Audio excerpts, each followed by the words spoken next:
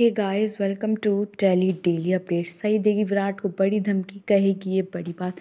जी हाँ हम आपके फेवरेट शो गुम है किसी के प्यार के अपकमिंग ट्रैक के बारे में बात कर रहे हैं, जहाँ पर आप सही करने वाली है घर में सबसे बड़ा तमाशा। यहाँ पर विराट से इस बार सारा सच बोलती नज़र आएगी, जहाँ पर विराट को जो ब्लैकमेल भी करने वाली और कहने वाली है कि अगर आपको सभी से मिलना है, अगर मुझसे कोई रिश्ता रखना है तो आपको सभी को सारा सच बताना होगा कि कैसे आपने आठ साल पहले मुझे छोड़ दिया था और मुझे छोड़कर आपने पाखी दीदी से शादी कर ली थी।